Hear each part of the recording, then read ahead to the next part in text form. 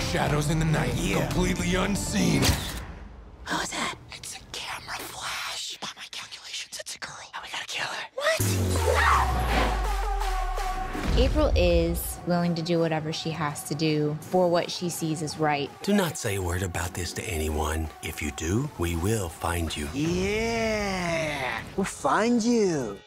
I'm sorry, that came across super creepy, okay? That's. we will find you, though. April O'Neil is very determined. She feels like she has a lot to prove. Everyone doubts her, and you really get a sense that throughout the movie, she wants to show people that there's more to her than meets the eye. You're ninja, mutant, turtle, teenager. When you put it like that, it sounds ridiculous.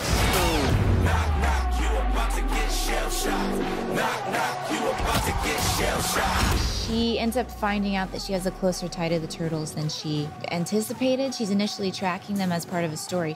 So they're aliens. No, that's stupid. They're ninjas. Dude.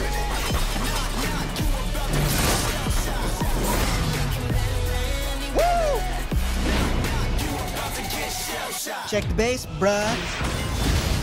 My bad, still figuring out the buttons.